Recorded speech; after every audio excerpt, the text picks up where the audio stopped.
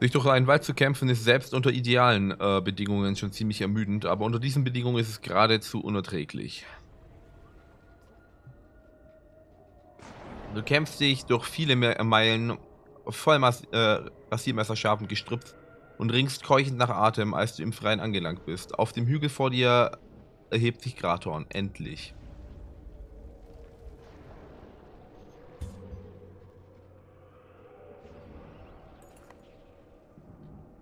Siehst du ihn? fragt Volker. Bollwerk steht bewegungslos hoch oben auf dem Hügel und beobachtet die Karawane. Jetzt weiß ich es, wie es sich für all diese armen Bastarde angefühlt hat, die uns haben kommen sehen. Es ist schwer zu wissen, was er jetzt denkt, sagt Olli. Erwartet er, dass wir tun, was er tun würde, oder eher das Gegenteil? Oder erwartet er, dass wir von ihm erwarten das? Spar meldet sich zu Wort. Weißt du, was ich tun würde? Etwas zu essen kochen, schlafen, wetten, dass er damit nicht rechnen wird. Olli spottet. Du hast es doch nur satt zu laufen, alter Mann.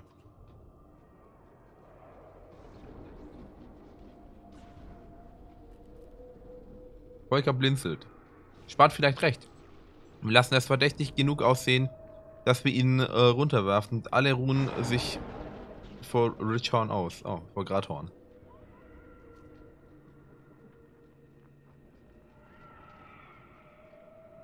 Kein Ausguck, fragst du, als sie das Lagerfeuer vorbereiten. Volker schüttelt den Kopf.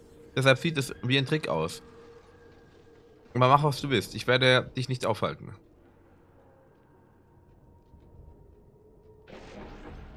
Hm, dem Rest der Raben an und schlafe, hat die Raben davon ab, die Lager aufzuschlagen. Du vertraust Volker und legst dich auf den harten Boden. Die Zeit vergeht nur langsam. Ein sanftes Knirschen erregt deine Aufmerksamkeit. Du fluchst lautlos und greifst nach deiner Axt, aber deine Hand findet nur Leere. Panisch springst du auf und deine Füße suchen nach äh, suchen mit deinem Blick im Boden ab. Keine Axt. Das Knirschen wird lauter und verwandelt sich in ein dumpfes Klopfen. Äste zittern und lassen kleine Schneeb äh, Schneebündel fallen. Wie ein Blutmund stürmt äh, ähm, Bellower plötzlich, also Brüller, plötzlich in einer leuchtend roten Rüstung aus der Dunkelheit hervor. Da ist eine vermisste Axt, die aus deinem blutenden Haufen, die aus einem blutenden Haufen in seinen Armen hervorsteht. Der Boden bebt von seinem Gebrüll. Oh, er träumt.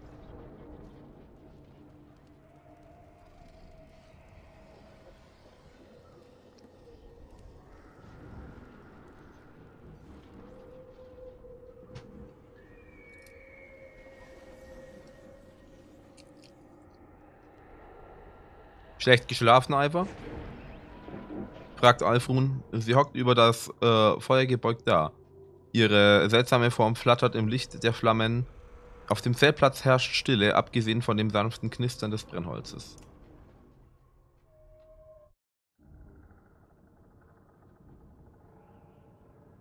Nur Träume. Manche Leute denken, dass Träume Omen sind. Diese Leute sind Idioten. Aber sie sind eine nette Ablenkung von unseren Sorgen. Nicht meine Art der Ablenkung.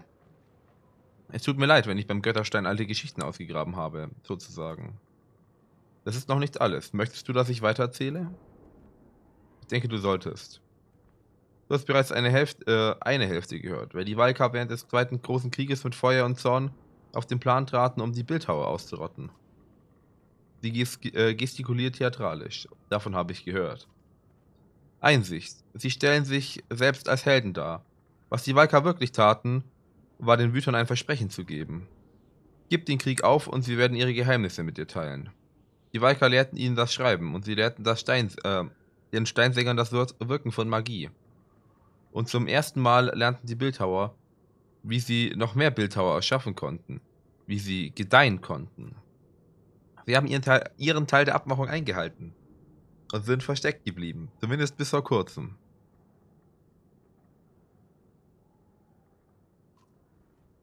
Woher weißt du das? Sie haben ihre eigene Geschichte und feine Schnitzereien. Ich habe es auf großen schwarzen Steinen in ihrem dunklen Zuhause, äh, in ihrem dunklen Zuhause gesehen.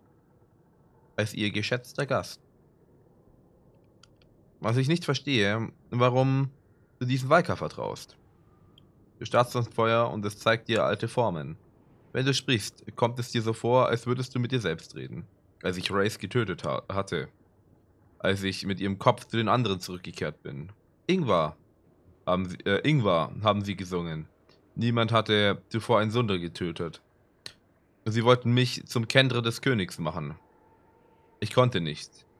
Sie verfolgten mich, Rüller und Race und dieses verdammte Kind. Jede Nacht war es dasselbe.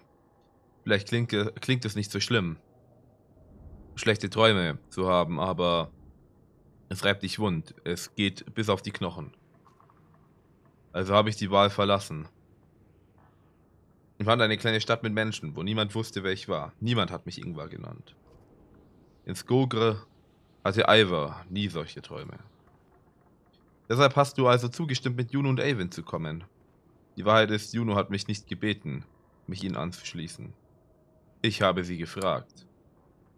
Die Flammen tanzen weiter hypnotisch. Auf dieser Brücke in Einertoft. Ich stand vor einem... Ich stand vor ihm, Brüller. Ich hätte mich bewegen können. Aber ich hielt einfach meinen Schild hoch und wartete auf das Ende. Was ist das, Ivar? Der Name reißt sich aus deiner Trance heraus. Du stehst auf und vertrittst dir die Beine. Deine Axt ist dort, wo du sie zurückgelassen hast, und die Raben beginnen, sich in ihren Zelten zu regen. Es ist nichts.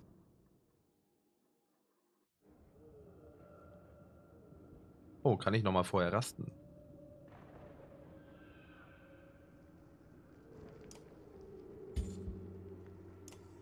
Erstmal meine Helden angucken. Ich glaube, ich muss jetzt gleich nochmal aufs Klo gehen. 1, 1, ah, okay.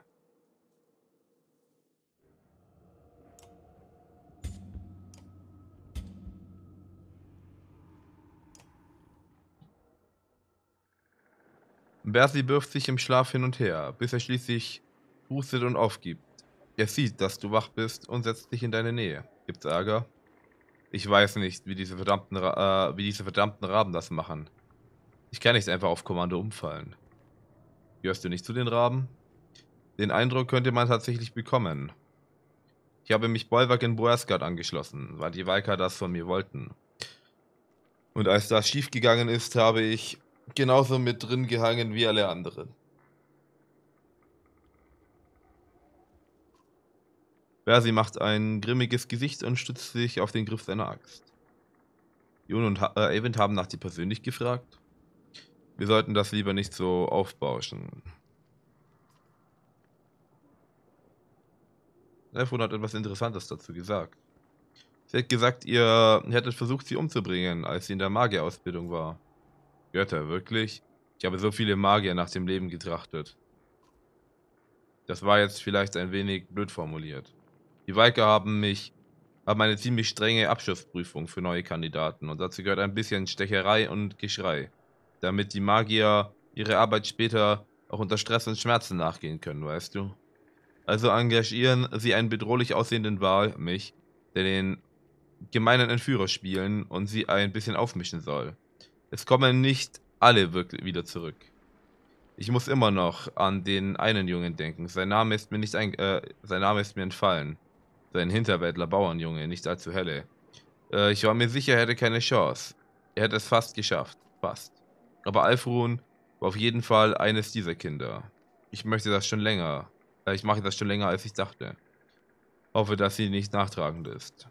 Bersi macht ein grimmiges Gesicht und stützt sich auf den Griff seiner Axt. Also arbeitest du selbstständig. Ich habe es mm, mit diesem ganzen unser Gebein, der Hügelstein-Zirkus nie so gehabt wie der Rest von euch. Was kümmern mich denn die Wüter oder der Tod in der Schlacht? Ich hätte lieber genug Geld, um zu tun und lassen zu können, was ich will. Bequem leben, gut essen. Es gibt eine Menge Leute, die es für eine tolle Idee halten, einen Wal als Mann fürs Probe anzuheuern. Also dachte ich mir, dass ich das doch eine Weile machen könnte. Seitdem ich habe ich ein ganzes Leben gelebt und ich bin damit nie reich geworden. Ich bin immer nur der Arbeit hinterhergejagt, während, ich anderen den, äh, während andere den Nutzen hatten. Einmal war ich unterwegs mit einem Prinzen und einem Steuereintreiber. Ich dachte, das würde meine, äh, mein großer Zahltag. Die Menschen übergaben einfach ihr Geld, luden es auf einen riesigen Wagen, weil wir ihnen sagten, dass sie das tun müssen. Praktisch Raub. Schließlich stürzte der Wagen über eine Klippe und explodierte in einem Hagel von Goldmünzen, die auf Nimmerwiedersehen verschwanden. Ich habe noch keinem der Menschen, die ich, äh, die ich getötet habe, eine Träne nachgeweint. Aber da habe ich geheult wie ein verlassenes Vogelküken. Ziemlich genau hier ist es passiert. Da bin ich mir eigentlich recht sicher. Aber ich kann die Dunkelheit nicht verlassen. Es ist wahrscheinlich sowieso alles verdreht und schwarz wie Hundehaufen. Vielleicht gibt es ja eine Moral von der Geschichte, aber ich werde nicht danach suchen. Was hältst du von diesem Auftrag? Wenn du die Walker meinst, nur ein Dummkopf würde ihnen vertrauen. Eins kann ich dir sagen, ich habe für sie schon ein paar ziemlich schräge Sachen gemacht. Und wenn du davon und wenn du davon redest, die Welt zu retten, das ist mir vollkommen egal. Was hat die Welt je für mich getan? In letzter Zeit setze ich nur noch einen Fuß vor den anderen. Ich habe noch einen weiten, winzigen Funken Hoffnung, dass ich irgendwann davon profitieren könnte. Ziemlich trostloses Leben. Nichts mehr zu verlieren, außer Schlaf vielleicht. Hier sitzen nur die anderen, äh, bis die anderen aufwachen. Du behältst den Rest deiner Gedanken für dich. Das Schweigen wäre peinlich, wenn ihr nicht bei der Wahl wärt. Dann wird es wohl Zeit aufzubrechen. Weißt du, Alva, man sieht, dass er damit ringt, sich etwas von der Seele zu reden. Als ich für die Valka arbeitete, bezahlten sie mich unter anderem dafür, dich zu finden. Du hattest dich versteckt und sie wollten wissen, wo. Darf ich fragen, warum? Eigentlich weiß ich gar nicht, warum. Ich stellte auch keine Fragen. Aber ich habe dich nie gefunden. Hätte ich, da, äh, hätte ich das, dann hätten wir vermutlich ein anderes Verhältnis gehabt. Also bin ich froh, dass ich um kleine Städte wie Skogre immer einen Bogen gemacht habe. Bersi geht mit einem Schulterklopfen und dir fällt auf, dass du ihm gegenüber Skogre nicht erwähnt hast.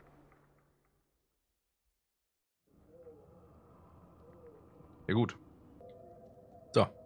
Okay. Äh, ich glaube, ich habe jetzt mit allen gesprochen. Dann machen wir mal Leave.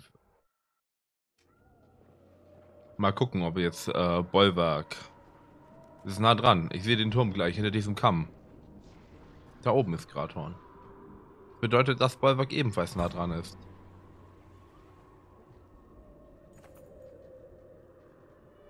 Bollwerk wartet weiter voraus, sagt Juno, und die Karawane wird langsamer. Er ist geduldig und hat gefährliche Verbündete. Ich glaube, er will uns davon abhalten, Grathorn zu betreten. Ich werde Bollwerk weglocken, sagt Juno. Avon starrt ausdruckslos in die Ferne. Es äh, wüsste er bereits, was kommen wird. Aber Juno fährt vor. Der Rest von euch wird im Inneren von Graton auf meine Rückkehr warten. Wir trennen uns nicht. Ich gehe mit dir. Wie wirst du mit Bollwerk fertig werden? Er kann nicht kontrolliert werden. Doch wir können ihn in die Irre führen. Er weiß nicht, wohin wir unterwegs sind und wird glauben, dass er uns bis hinter Grathorn verfolgt, sagt Juno. Ich werde zurückkehren, so oder so. Volker tritt vor. Ich, ich traue dir nicht. Und selbst wenn ich es täte, kannst du mit Bollwerk nicht alleine fertig werden. Wir teilen die Karawane auf Sie bietet freiwillig ihre Hilfe an. Wie äh, auch die von Olli und Spar. Die anderen verzweifelten Blicke. Die anderen verzweifelte Blicke zu werfen. Volker fügt hinzu. Ich nehme von niemandem Befehle entgegen. Erinnerst du dich? Junos Plan unterstützen. Ihr zwei seid echt unglaublich, schmollt Volker. Gut, Juno, aber wenn du dich mit dem Gedanken, äh, wenn du dich mit dem Gedanken tragen solltest, uns zu hintergehen, Vergiss nicht, ähm, äh, mit wem du Avon zurücklässt. Juno bricht äh, vor der Karawane auf, bis, sie ihr, eigen, äh, bis ihr eigenes Licht über den Hügel verschwindet. Der Rest der Karawane nähert sich vorsichtig Grathorn. Avon trägt das Licht, frische Fußspuren führen und auch den Schnee und verschwinden in der Ferne. Junos Ablenkungsmanöver, der Weg scheint frei zu sein. Okay. Es wird hier wieder so gefühlt so kalt. Damit da gewöhnt man sich dran. Now they say it's the entrance to another world. How far had she already come just to fall here?